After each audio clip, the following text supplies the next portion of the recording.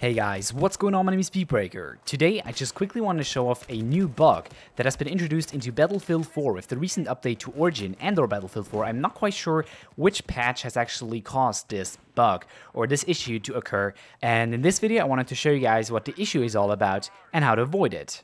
So the problem that a lot of people including me have encountered is that the game started to freeze in a regular basis. So every 15 to 25 seconds the game would actually freeze entirely. So your soldier would basically just run into the direction he was running, he will keep firing if you were firing, or if you didn't fire, you couldn't fire. Now this is really a big deal and it pretty much makes playing impossible since all 15 seconds your soldier would basically freeze and whenever you were in a firefight in that situation, you would pretty much die.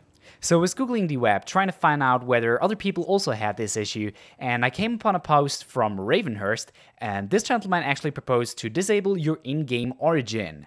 Now, this is fairly simple. All you have to do is click on Origin in the taskbar, click on Origin once again, Application Settings, Origin In-Game, and make sure that Enable Origin In-Game is unticked.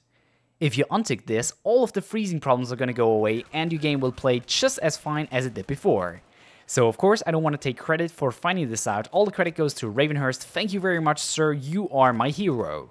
So please share this video, raise awareness to anybody who has got the same problem as I, that there is actually workaround there and that they just have to disable in-game origin and your game is gonna run just fine as before the patch. But that's already it for today guys, I hope I could help out some players out there who are running into the same issue as I did.